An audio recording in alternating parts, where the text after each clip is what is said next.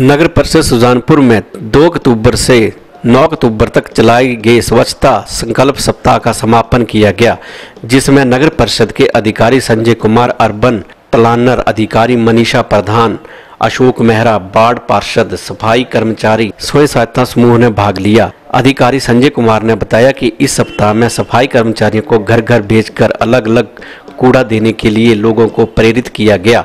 इस कार्य के लिए नौ सहायता समूहों की सहायता भी ली गई। उन्होंने कहा कि अब लोगों को एनजीटी के निर्देशों अनुसार सभी वार्डों के लोगों को गीला व सूखा कूड़ा अलग अलग करके देना होगा।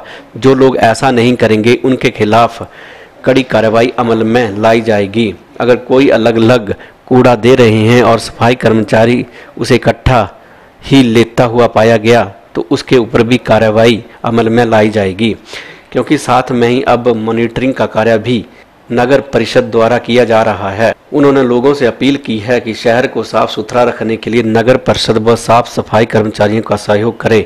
उन्होंने कहा कि इस नेक स्वच्छता संकल्प सप्ताह के लिए सभी सफ़ाई कर्मचारियों को नगर परिषद की तरफ़ से 40 लोगों को 500-500 रुपए दिए गए। वहीं नौ सहायता समूहों को भी हर समूह को 1000 की सहायता राशि प्रदान की गई है।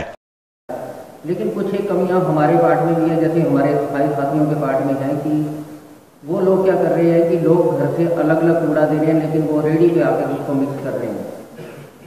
या उसको गाड़ी में आके मिक्स कर रहे हैं तो मेरा आप लोगों से यही अनुरोध है कि आप लोग जब भी जो लोग कूड़ा अलग अलग दे रहे हैं, उसको अलग अलग लें।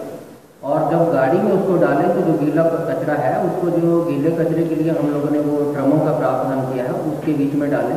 गाड़ी वाले लोग भी यहाँ उपस्थित हैं। जैसे ही रेडी या कोई बाहर से कूड़ा आता है तो उसको अलग अलग